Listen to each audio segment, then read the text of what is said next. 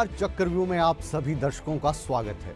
मैं हूँ आपके साथ मुकेश राजपूत और चक्रव्यूह में हमारे आज के मेहमान हैं ओपी धनकर साहब। ओम प्रकाश धनकर जी। क्रांतिकारी नेता के तौर पर आपको लोग जानते हैं, लेकिन कैबिनेट मिनिस्टर के तौर पर अभी जो जिम्मेदारियाँ हैं वो अलग हैं। आपने एक बहुत अच्छा काम किया था कि जो पंचायतें हैं, उसमें पंच, सरपंच पढ़े लिखे हों। बहुत अच्छी बात थी, वाहवाही लूटी आपने। प्रदेश में ही नहीं देश में भी नाम हुआ। अब पंचों को आप अठन्नी नहीं दे रहे हैं अधिकारियों के मार्फत ही दे रहे हैं क्यों? देखिए अलग अलग चरण हैं। हमने कोई नया कानून नहीं बनाया पुराना कानून है कि 10 लाख तक का पैसा सरपंच खुद खर्च कर सकते हैं। और दस लाख से जहाँ अधिक होता है वहाँ डिपार्टमेंट बीच में आ जाता है। सरपंच की सहमति से ही काम करता है लेकिन उसकी टेंडरिंग और प्रोसेस करने का काम जो है वो पंचायती राज विभाग का जो इंजीनियरिंग विंग है उसके हाथ में आ जाता है। पहले हमने शिक्षित पंचायतें बनाई फिर हम सक्षम पंचायतों की तरफ़ बढ़ रहे हैं। शिक्षित से सक्षम के दो हिस्से हैं। एक है उनकी कैपेसिटी बिल्डिंग और एक है संसाधन देना। संसाधन देने के बारे में हमेशा मैं मानता हूँ कि जितने संसाधन स्टेट के हिसाब से होने चाहिए बहुत लिमिटेड है। मेरे पास 6,207 पंचायत है मेरा बजट 2,000 करोड़ का है।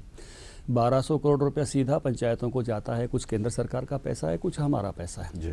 800 करोड़ रुपया मुख्यमंत्री की मंत्रियों की घोषणाओं में से जाता है। इसलिए सीधा जाने वाला पैसा जो है वो राशि और ये दोनों भी जोड़ दें तो 6,207 पंचायतों में 2,000 करोड़ रुपया मामूली पैसा है। इसलिए पहला काम अब हम कर रहे हैं कि नाबार्ड से पैसा मांग रहे हैं आने वाले कुछ वर्षों के लिए। पाँच हज़ार करोड़ शायद हज़ार करोड़ इस साल से शुरू करेंगे और ग्रामीण विकास तेज़ी के साथ हो ये हमारा प्रारंभिक लक्ष्य है। तो उसके लिए मैंने कहा कि पहला काम किया शिक्षित पंचायत दूसरा काम कर रहे हैं सक्षम पंचायत। एक तो हमने रोहतक विश्वविद्यालय हिसार विश्वविद्यालय हमारे खानपुर महिला विश्वविद्यालय कुरुक्षेत्र विश्वविद्यालय और हिसार में भी एच में भी गुरु जम्बेश्वर में भी एच में भी। तीन महीने का सर्टिफिकेट कोर्स पंचायतों के लिए शुरू किया है क्योंकि सरपंच और ऊपर के जो जनप्रतिनिधि हैं वो सारे दायित्व क्योंकि उसको अकाउंट भी रखना होता है उसको चेक पर हस्ताक्षर भी करने होते हैं उसकी सब चीज़ों की लाइबिलिटी है उसको उसके हिसाब से सक्षम बनाएँ एक। तो दूसरा सवाल आप खड़ा कर रहे हो, उस पर भी हम सोच रहे हैं कि पंचायतों को अभी दस लाख की अनुमति है, उससे कुछ आगे बढ़ें। इस पर विचार चल रहा है डिपार्टमेंट में। जाट नेता के तौर पर आपको जानते हैं हरियाणा में, जो दो, चार बड़े नेता भारतीय जनता पार्टी में हैं, उनमें आप उच्च श्रेणी में आते हैं। जाट, ये जो भाजपा की सरकार है, इनकी बात मान नहीं रहे हैं। और भारतीय जनता पार्टी दावा करती है कि जाटों को आरक्षण दिलाने की बात उन्होंने की थी। भारतीय जनता पार्टी लेकिन जाट आज की तारीख में भाजपा की खाट खड़ी करने पे उतारू हैं। देखिए भारतीय जनता पार्टी ने उत्तर प्रदेश में आरक्षण दिया। जाटों ने राम प्रकाश गुप्त को चौधरी राम प्रकाश गुप्त कहा। राजस्थान में अटल बिहारी वाजपेयी जी के नेतृत्व में जब सरकार थी, उसी समय आश्वासन दिया, उसी समय आरक्षण दिया। मध्य प्रदेश में भारतीय जनता पार्टी ने दिया, दिल्ली में भारतीय जनता पार्टी ने दिया, और डंके की चोट पे मैं कह रहा हूँ कि जितना अच्छे तरीके का और कानून बनाकर दिया तो मनोहर लाल जी ने दिया भारतीय जनता पार्टी की सरकार ने आरक्षण दिया। तभी और कोर्ट में अटका हुआ है। कोर्ट में अटकना एक अलग विषय है। कोर्ट में तो दुनिया के भर के सभी कानून आजकल चैलेंज के क्षेत्र में आते हैं। तो वैसे तो फिर कांग्रेस वाले भी दे गए थे ना उनका सुप्रीम कोर्ट में गिर गया। वो- आपका हाई कोर्ट में अटक उनकी गड़बड़ क्या थी वो समझ लीजिए। उन्होंने जो एनसीबीसी कमीशन था उसकी ना के बाद दिया। उसकी ना के बाद दिया इतना ही पाप नहीं तो किया। आपने कौन सा सर्वे करवा सुन लीजिए। हाँ। सुन लीजिए उन्होंने उनकी ना के बाद दिया और उनकी ना के बाद भी उनकी ना के बाद क्यों दिया? इसका कोई लॉजिक नहीं दिया। इसीलिए कांग्रेस पार्टी जो बीज बोकर गई थी उसको हमको भुगतना आपने पड़ा। उससे क्या इसलिए? सर्वोच्च न्यायालय में वो रद्द हुआ। हमने बिल्कुल कानून सम्मत तरीके से और सब तरह से विचार करके और जैसी समाज की अपेक्षा थी वो हुड्डा साहब तो बड़े शर्माते से हुए उनको विशेष कैटेगरी में डालकर गए थे। हमने स्पेशल कैटेगरी की बजाय बीसीसी में लोगों की अपेक्षाओं के अनुरूप आरक्षण दिया और फिर अगर वो हाई कोर्ट में उसको चुनौती दी गई तो जो समाज ने कहा जगदीप धनखड़ जी समाज की अपेक्षा के हिसाब से उसकी पैरवी करने के लिए वकील खड़े किए हैं मैंने सरकार की नियत और आपकी जो सरकार है आपकी जो सरकार है। नियत पे ही हम सवाल उठा रहे हैं आपकी सरकार आपकी सरकार की कानून नियत और तो- जो नीति है वो ऐसी है वो बटी हुई सी नज़र आ रही है जाट आरक्षण बिल्कुल नहीं। आप बहुत मेहनत करते हैं जाटों को आरक्षण दिलवाने के लिए और जो जाट नेता हैं, वो मेहनत करते हैं आप ही की सरकार के। लेकिन आपकी पार्टी में बहुत सारे लोग ऐसे हैं जो इसको लागू नहीं होने देना चाहते। और ये बयान भी आए हैं, आप कहेंगे तो नाम के साथ बता देंगे कि डंडे के बल पे आरक्षण नहीं मिलेगा। देखिए, आपको प्रशंसा करनी चाहिए मेरी पार्टी के विधायकों की। मेरे सैंतालीस का हाउस है भारतीय जनता पार्टी का। पाँच लोग हमको बाहर से समर्थन करते हैं, हम बावन हैं। और बावन, पैंतालीस में से चालीस लोग जो है, वो जाट समाज से नहीं आते हैं। केवल सात लोग जाट समाज से आते हैं। मैं उन समस्त विधायकों की जो हमारे साथ हैं चालीस हैं उनकी प्रशंसा करना चाहता हूँ जिन्होंने एक इशारे पर पार्टी के पाँच मिनट में जाट समाज को आरक्षण दिया और समस्त जाट समाज ने उनका ऋणी होना चाहिए और उनकी प्रशंसा करनी चाहिए कि इस हाउस में उन्होंने बिना किसी बहस के जैसा सरकार ने प्रारूप रखा और सरकार ने प्रारूप वो रखा जो जाट समाज के चुनिंदा लोगों ने कहा उसको पारित किया। इसलिए उनके प्रति एहसान बनाना चाहिए। दे दिया आपने ना ये देखा कि आगे जाके चैलेंज होगा कोर्ट में जाएगा। जो लोग आपने जो अपने गले का सांप था वो डाल दिया युधिष्ठिर के गले में। जितने कानून विदों के माध्यम से जो बेहतरतम ड्राफ्ट हो सकता था उस ड्राफ्ट को विधानसभा ने पारित किया है। और इसलिए मुझे शत प्रतिशत लगता है कि न्यायालय में भी न्याय मिलेगा जाट समाज को। अभी न्याय मिलेगा वो या नहीं मिलेगा न्यायालय की बात है आप टिप्पणी नहीं कर सकते हम नहीं कर सकते। लेकिन जाट आंदोलन के दौरान जो हिंसा हुई उसमें जो लोग जेलों के अंदर गए उसको लेकर लगातार धरने प्रदर्शन हो रहे हैं। आपकी सरकार की फजीहत, आप ही का जाट समाज कर रहा है।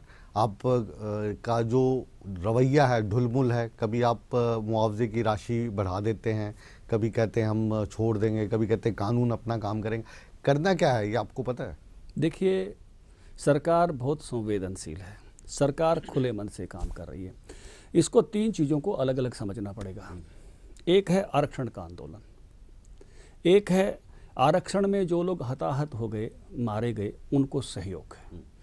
तीसरा है कि जिनके ऊपर जो जिन्होंने कोई उपद्रव में शामिल हुए समाज ने भी कहा कि ये उपद्रव है और जो उपद्रव में शामिल हुए और जिन पर गंभीर किस्म के केस बने ये तीन अलग अलग चीज़ें हैं तीनों को अलग अलग रखिए आरक्षण का जो आंदोलन है 400 स्थानों पर था उसमें से 1500 केस वापस हुए और अभी भी सरकार पूरी तरह से इस मत की है कि जितने भी केस आंदोलन में हुए उन सभी केसों को आंदोलन कर में वापस करने के लिए सरकार पूरी तरह से खुले मन से काम कर रही है। आप पहले तो कहते थे कि जो आंदोलन में जो लोग मारे गए वो उपद्रव मचा रहे थे। उसके बाद दबाव में आकर आपकी सरकार ने नौकरियाँ बांटी। एक बार आगे नौकरियों में पता लगा कि नौकरियों में भी खेल कर दिया आपने पक्की नौकरी देने के बजाय आपने डीसी रेट पे दे दी फिर कटघरे में खड़े हो गए पूरा सुनिए। हाँ।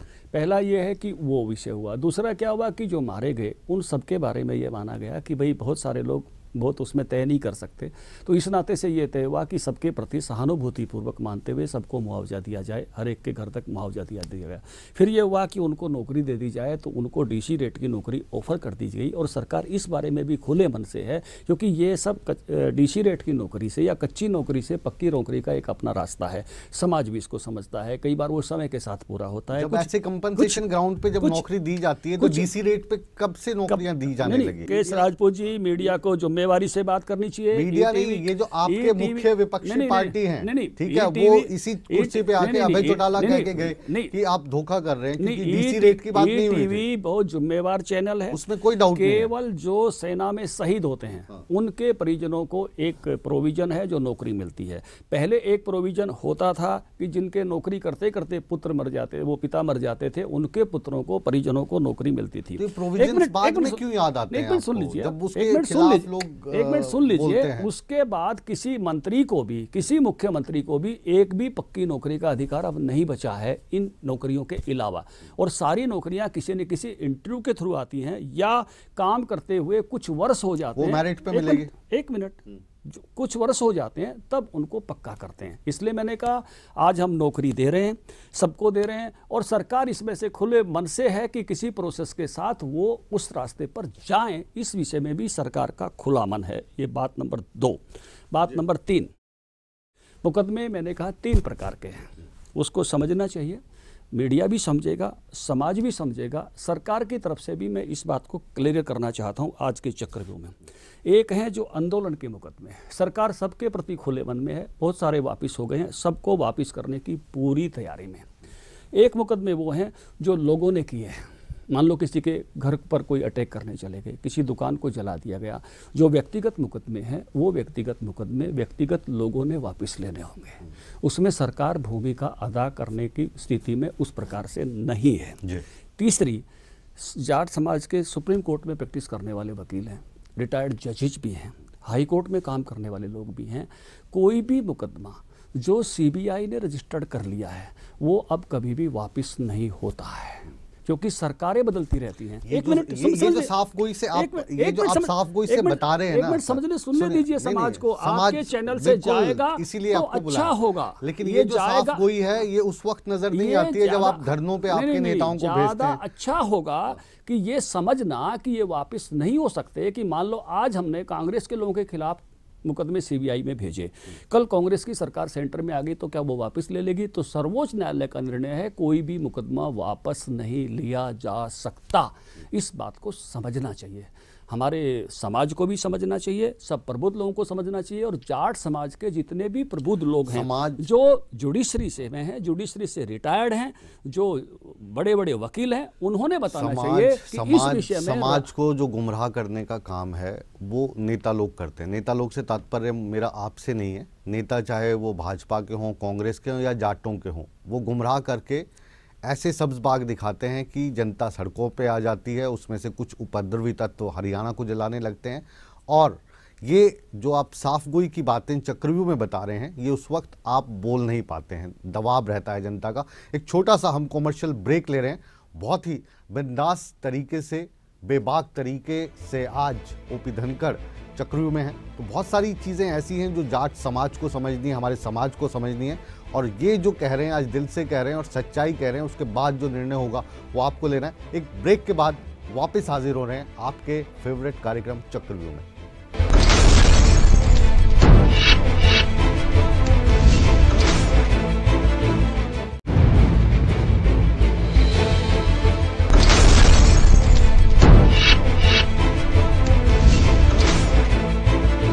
ब्रेक के बाद आप सभी दर्शकों का एक बार फिर स्वागत है।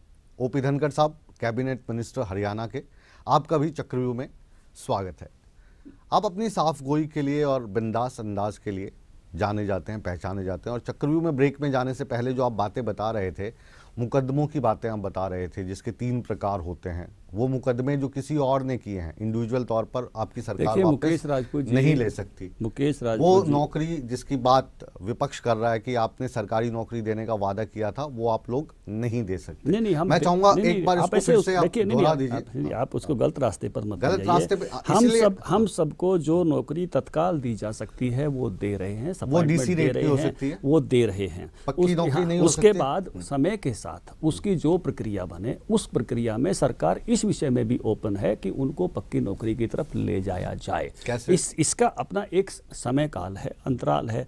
कुछ स्थान ऐसे हो सकते हैं कि कुछ सारी बहुत सारी नौकरियाँ ऐसी हुई हैं पहले कि जो समय के साथ पक्के की तरफ़ जाती हैं।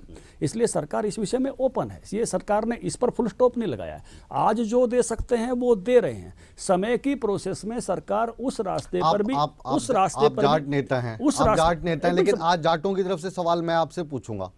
आप मुझे ये बताइए जिन लोगों को आप नौकरी दे रहे हैं वो नौकरी कच्ची है? अभी क्योंकि आरक्षण का आप कहें कि प्रेशर है हरियाणा में कहें तो डंडा है लोग जगह जगह धरने पे बैठे हैं आप जो वो मांगे बोलते हैं मान लेते हैं। कल को जब कार्यक्रम नॉर्मल हो जाएगा आप उनको निकाल देंगे इसकी क्या गारंटी नहीं नहीं है? बिल्कुल ऐसा सोचने की आवश्यकता नहीं नहीं, है। क्यों ना नहीं, सोचें? बिल्कुल बिल्कुल ऐसा बिल्कुल मत सोचिए। सरकार जो बात बोलती है कितने भी तरह के आप अगर ऐसा शब्द भी इस्तेमाल करना चाहते हो तो कितने तरह के प्रेशर्स के बावजूद भी सरकार जिन बातों को वादा करती है उन सबको निभाती है। कंपनसेशन का विषय आया। बहुत सारे प्रेशर्स थे आपके ध्यान में? है उसके बाद एक एक सेकंड के लिए। पहले उस समय उस- 25,000 देते हैं, 50 कर देते हैं, नहीं, लाख नहीं देते है। दस डबल कर लाख देते हैं। दस लाख रुपए सबसे पहले कहा गया जिनको भी मृत्यु हुई उनके घरों तक सरकार ने पहुँचाए। वो मृतक हाँ और घायलों का विषय पहली बार आया। सरकार ने बड़ी संवेदनशीलता से खुले मन से किया और सरकार जब संवेदनशीलता से करती है तो मुकेश राजपूत जी उसकी प्रशंसा कीजिए उसकी निंदा मत कीजिए। प्रशंसा हम करते, सरकार, अगर- सरकार अगर जो है माँ की तरह से होती है सरकार पिता की तरह से होती है पूरी स्टेट के लिए और सरकार मातृभाव और पितृभाव से सोचती है। हर बात की केवल आलोचना उचित नहीं है प्रशंसा कीजिए। जो सरकार है जो हमारी माता पिता है उन माता पिता के रिप्रेजेंटेटिव के तौर पे आप बैठे हैं। बिल्कुल। तो जब आप मुआवजा देने की बात करते हैं तो जो आप बड़ा दिल बाद में दिखाते हैं जब हाई हाई होती है नारे लगते हैं या प्रेशर बनता है तब आप मुआवजा बढ़ा के दुगना कर देते अच्छा, हैं। आपने तो पहले पहले क्यों नहीं आप इस तरीके की चीज़ें उनको देते हैं कि सवाल ही ना उठे आपकी मंशा पर? देखिए, लोकतंत्र में ये कभी नहीं हो सकता कि सवाल नहीं उठे और लोकतंत्र में ये होना चाहिए कि सवाल उठे।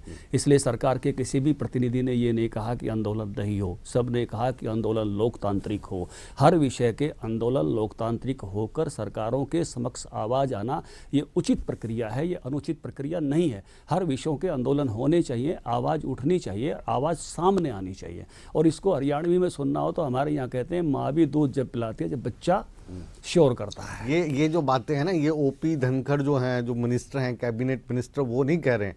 ये क्रांतिकारी मेरे सामने बैठा है जिसने पूरी ज़िंदगी आंदोलन में काटी है वो कह रहे हैं। और इसलिए मैं ये भी की पे कह रहा हूँ कि आंदोलन के मुकदमे वापस होने चाहिए हमारे भी होते हैं। देश भर में हम्म। कौन से कौन सा हम कर नहीं कौन सा राज्य है जिसमें वापस नहीं होते? और सरकार आंदोलन के सभी मुकदमे वापस करने के लिए पूरी तरह से खुले मन से काम कर रही है। ये अब ओम प्रकाश धनखड़ जाट बोल रहा है। नहीं नहीं नहीं ठीक मैं है। एक ही आप भी तीन तरीके के बयान दे रहे हो। मैं बिल्कुल मैं बिल्कुल जितनी क्लैरिटी के साथ मैंने बताया मुकदमों की तीन श्रेणी मैंने बताई आपको बिल्कुल क्लैरिटी से क्लैरिटी से बताई जो धरनों पर बैठे थे जो रास्ता रोके हुए थे जो कहीं ना कहीं जलूस निकाल रहे थे प्रदर्शन कर रहे थे जितने भी प्रकार के आंदोलन के मुकदमे हैं सरकार सभी आंदोलन के मुकदमों को वापस लेने के लिए पूरी तरह से संवेदनशील है और प्रक्रिया के तहत उस रास्ते पर आगे बढ़ रही है। दूसरे प्रकार के मुकदमे हैं जिनके प्रतिष्ठानों पर जिनके कार्यक्रम में सुन लीजिए तीसरी बार आए ये बात दूसरी बार बताना अच्छी बात है। जिनके व्यक्तिगत मुकदमे हैं वो व्यक्तिगत लोग ही वापस ले सकते हैं। और तीसरी श्रेणी मैंने बताई कि जो सीबीआई के पास मुकदमे चले गए हैं वो किसी भी प्रकार के वापस होने के नहीं है। समाज के सभी प्रबुद्ध लोगों ने ये सबको बताना चाहिए। अच्छा जाट भाई जो हैं हमारे वो भी आजकल इसी तरह से कई कैटेगरीज में विभाजित हो गए हैं। एक जाट वो हैं जो यशपाल मलिक गुट के साथ मिलकर धरना प्रदर्शन कर रहे हैं। एक जाट वो हैं जो मुख्यमंत्री से आके बातचीत करते हैं। एक जाट वो हैं जो भारतीय जनता पार्टी के जो जाट नेता हैं, उनके टच में हैं। एक जाट वो हैं जो ओम प्रकाश चौटाला या उनके परिवार के लोगों के टच में हैं। एक जाट की कैटेगरी वो है जो हुड्डा साहब के साथ चलते हैं। इतनी सारी कैटेगरीज बन गई हैं कि समझ में नहीं आ रहा, आपको भी नहीं आ रहा होगा कि असली जाट नेता कौन है? आपके, जाट आपके तो हरियाणा की बात कर रहे हैं और ये कैबिनेट मिनिस्टर से बात नहीं कर रहा हूँ मैं फिर से एक जाट समुदाय के प्रतिनिधि से कर रहा हूँ। जाट पूरी तरह से लोकतांत्रिक समाज है और लोकतंत्र में जिस प्रकार से भिन्न भिन्न प्रकार की धाराएँ चलती हैं सारी धाराओं को समझते हुए काम करता है। और इसलिए उसकी इस लोकतांत्रिक वैल्यू की आपने सराहना करनी चाहिए। वो मतलब- किसी एक मतलब- धारा में विचार करने वाला नहीं है वो धाराओं को समझता है समस्त धाराओं के साथ सम चलता है और ठीक जो धारा जिस समय होती है उसका निर्णय देके उस प्रकार से आगे बढ़ता है। ऐसा मुझे वो पूरी मतलब तरह से बहुत लोकतांत्रिक समाज है। लोकतांत्रिक समाज तो है ना लेकिन आप को तो बहुत मुश्किल होती है क्योंकि आप, आप आप जिन लोगों को बुलाते हो बातचीत करने के लिए वो ना धरने पे होते हैं ना प्रदर्शन पे होते हैं हर वो कोई- आते हैं हर कोई आपके पास आते हैं मुख्यमंत्री साहब के पास आते हैं मुकेश राजपूत चाय नाश्ता करते हैं निकल जाते हैं और पीछे जो दूसरे जाट भाई बैठे हैं मुकेश मुकेश राजपूत ये परिवार ये कुणबा ये है। इस कुणबे में एक आदमी अगर किसी मौके पर गुस्से में है तो चार शांत लोगों की वैल्यू नहीं है क्या? तो आप उन चार ये जो शांत ये जो को जो चार शांत लोग एक मिनट समझिए चार शांत लोगों को इकट्ठा कर लेते हैं, गुस्से वाला अपना कार्यक्रम कर देता है। समझिए। तो, तो सोसाइटी टोटल है ये टोटल सोसाइटी है कोई एक व्यक्ति घर का एक परिवार का एक व्यक्ति गुस्से में आया हुआ है तो क्या वो परिवार नहीं है? या बाकी लोग परिवार नहीं है या बाकी लोगों का सामर्थ्य नहीं है? इस ढंग से चीज़ों को मत देखिए। संपूर्ण समाज है आपके हिसाब से हम समझने की कोशिश करते हैं। आप में एक एक, इकाई है। सबकी अपनी फॉलोइंग है सबके लोग अपने साथ हैं और ये- जो आरक्षण का बताया परिवार है। नहीं परिवार है। आरक्षण का आंदोलन चलाते रहे। ये परिवार है इसमें चार लोग गुस्से में चार लोग शांत हैं और पांचवा गुस्से हैं। आप उन चार लोगों को तो पकड़ लेते हो। और पांचवा पीछे से कार्यक्रम बजा कैसे, लेता है। ऐसे कैसे कर रहे ऐसा ही? हुआ। अरे ऐसे कैसे कर रहे हो आप? उनके साथ कौन बात नहीं कर रहा? क्या हुआ? नहीं, नहीं, 2016 में फरवरी में। मुकेश राजपूत और अभी जो आंदोलन चल रहा है इसको कौन लीड कर रहा है? मुकेश राजपूत जी लगातार सरकार ने वार्ता के द्वार खुले रखे। लगातार सत्रह फरवरी को भी बात की थी। उन्नीस फरवरी को घटना होती है सत्रह फरवरी को मुख्यमंत्री का घर पूरे जाट नेताओं से भरा हुआ था। सरकार की ओपननेस सरकार का खुलापन तो सरकार की संवेदनशीलता। एक जाट नेता जब अपने ठिकाने पर पहुँचे। तब कहते जी हमारा तो इनसे आप- कोई ताल्लुक नहीं हमारे लोग नहीं बैठे आप सरकार की प्रशंसा कीजिए कि सरकार ने कितने खुले मन के साथ संवेदनशीलता के साथ ओम प्रकाश धनखड़ मैयर जाते हैं ओम प्रकाश धनखड़ सांपला जाते हैं ओम प्रकाश धनखड़ राजनाथ के घर पर जाकर झोली फैलाते हैं ओम प्रकाश धनखड़ बड़ी मुस्तैदी के साथ सारे मामले में कैसे आगे बढ़े इस पर लगते हैं। लेकिन ओम प्रकाश धनखड़ जो ये इस समय जो चल रहा है उसमें भी कैसे अच्छे से अच्छा रास्ता निकले इस समय जो उसके लिए इस समय जो चल रहा है उसकी बात करते हैं पिछले साल की बात भूल जाते हैं। पिछले साल हम कह रहे हैं ना आपने बहुत मेहनत की जो दूसरे जाट प्रतिनिधि हमारे यहाँ पे मंत्रिमंडल में उन्होंने बहुत मेहनत की लेकिन उस मेहनत का नतीजा निकला नहीं। अब हम 2017 की बात करते हैं इन दिनों की बात करते हैं। अब जब आपके प्रेसिडेंट साहब वहाँ पे जाते हैं सुभाष बराला जी की बात कर रहे हैं। हूटिंग होती है वहाँ पे। उनकी बात सुनने के लिए कोई तैयार नहीं है। आपकी जो सरकार है, वो कहती है, हमारे मंत्री या जो जनप्रतिनिधि है, वो नहीं जाएँगे। कमेटी बनाई जाती है। पर कमेटी जो है, वो डाकी का काम करेगी। उसके पास कोई निर्णय लेने की क्षमता नहीं है। तो ये क्या खेल क्या हो रहा है ये? मैंने पहले ही कहा कि सर, संगठन का काम, सरकार का काम मातृ पितृ भाव का है इसलिए कोई नाराज़ हो तो भी कोई दिक्कत नहीं है सुभाष बराड़ा जाते हैं। कमेटी इतनी हाई पावर कमेटी इससे पहले कभी इस आंदोलन की आपने देखी थी? जिसमें- है, एक मिनट जिसमें- जिसमें वो मांग कर रहे हैं सरकार भाई, का सबसे उनका- बड़ा उनका जो मांग कर रहे हैं, वो उस निर्णय ले सकती है। खुले मन से कमेटी को भेजा जाता है सरकार का चीफ सेक्रेटरी बात करने के जाता है सरकार का होम सेक्रेटरी बात करने के जाता है सरकार के बड़े से बड़े अफसर जाते हैं ईटीवी ने इसकी प्रशंसा करनी आखिरी सवाल मेरा ये है कि जो कमेटी आप वहाँ पे भेजते हैं क्या उनके पास ऐसी पावर है निश्चित रूप से वो, वो सभी जो मांग है उन बिल्कुल, पर बिल- वो निर्णय ले सके। अरे भाई आप निर्णय होते हुए नहीं देखते। वहीं पर बात आती है कि कंपनसेशन घायलों का बढ़ना चाहिए और वहीं पर निर्णय होता है घायलों का कंपनसेशन बढ़ा रहे हैं। उससे फालतू कमेटी को क्या ताकत होगी? आप प्रशंसा करिए आप। हाँ नहीं प्रशंसा जहाँ पे करने की होगी वहाँ पे करेंगे। करिए आप। आप प्रशंसा में कंजूसी कर रहे हैं। हमारा कार्य है जो जनता आपको देख रही है जिन्होंने आपको चुन के भेजा है जो उनके जहन में सवाल है वो सवाल पूछना हमारा है। खड़े करना नहीं केवल जो है निंदात्मक सवाल खड़े नहीं, करना वो दुष्यंत कुमार की कविता है ना। आपका- मेरा हंगामा खड़ा करना मेरा मकसद नहीं। आपका काम सही को सही लोगों के सामने सत्य को सामने लाना है। वो वो आप वो जो हम आप सवाल पूछ रहे हैं आप उसका जवाब के माध्यम से बताइए। सारे सारा मीडिया सत्य अन्वेषी है उसकी आधार ही यही है। खबर वही जो सत्य हो। इसलिए आपका काम सत्य को उजागर करना है वो करिए। तो सत्य ये है कि आज भी आपके इतने प्रयासों के बावजूद जो जाट समुदाय है वो धरने पर बैठा है। उसकी संख्या कम होने की बजाय लगातार बढ़ती जा रही है। दो मार्च को फिर उन्होंने कॉल दी है। उसके बाद वो दिल्ली को ट्रॉलीज से रोकने की बात कर रहे हैं। और आपकी सरकार अभी भी जो आप हाई पावर कमेटी आप बता रहे हैं उसके अलावा कोई ज़्यादा प्रयास करती नज़र नहीं आ रही निश्चिंत नज़र आ रही है पिछले साल की तरह। सरकार ने अपना बेस्ट दे दिया। सरकार ने अपना बेस्ट दे दिया घायलों को मुआवजा। सरकार ने अपना बेस्ट दे दिया नौकरियाँ शुरू करके। सरकार ने अपना एक मिनट। सरकार ने अपना बेस्ट दे दिया। उसको पर रोकिए मत ना भैया वो रास्ता है। चले तो चलेगा तो पहुंचेगा। जो चलेंगे वो मंजिल- खुलासा लेकिन नहीं नहीं जो चलेंगे वो मंजिल पे पहुँचेंगे। तो इसलिए चले हैं चलने दो आगे बढ़ने दो। सरकार ने कहा कि हम जो है आंदोलन के सभी मुकदमे वापस लेने को तैयार हैं। सरकार अपना बेस्ट दे रही है। मैं सरकार की इस बात के लिए मनोहर लाल जी की प्रशंसा कर रहा हूँ कि वो अपना बेस्ट दे रहे हैं। जो नहीं कर सकते वही रुके हैं और ये नेतृत्व को भी और समझना अधिकतर मांगे ऐसी जिसमें कुछ नहीं कर सकते। ये समाज को भी समझना होगा जिसमें नहीं कर सकते वहाँ लिमिटेशंस है मर्यादा है सर, प्रदेश सरकार की भी मर्यादा है। एजी साहब ने जो स्पष्टीकरण दिया है कि भी सब तरह से कानूनी राय लेकर समझ कर किया है कि भाई हम जो है सीबीआई के केसेस को वापस लेने की प्रदेश सरकार की स्थिति नहीं है वो नहीं ले सकती। ये कानूनन चीज़ें इस प्रकार की हैं। जो व्यक्तिगत किए हुए मुकदमे हैं वो व्यक्तिगत लोगों के सामने समाज पहले भी जाता रहा है पंचायती तौर पर जाता रहा है भाईचारे में मुकदमे वापिस करा लेता है। उम्मीद है इस तो कार्यक्रम में जो जो दिल की बातें हैं और जो सच्ची बातें हैं वो आपको हमने कहने का अवसर दिया और आपने खुल के कहा।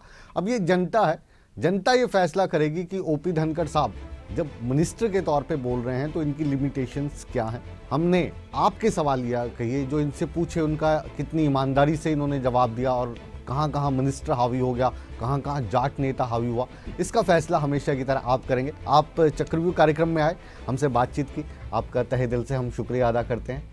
बहरहाल, आप कहीं मत जाइए, बने रहिए हमारे साथ, क्योंकि चक्रव्यूह के बाद भी ईटीवी हरियाणा, हिमाचल प्रदेश पर खबरों का सिलसिला बदस्तूर जारी है।